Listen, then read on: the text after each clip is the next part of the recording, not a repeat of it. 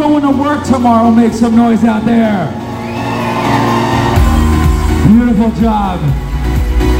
Ladies and gentlemen, focus your undivided attention to our entranceway as we now get ready to bring in the lovely parents of our bride. Ladies and gentlemen, let's welcome Mr. and Mrs. Robert Melroy.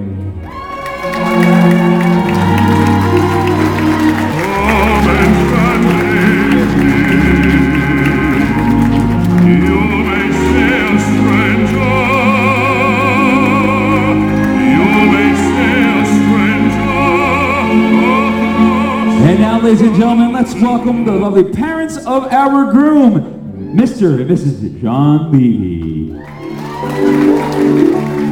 Don't go chasing, try to be.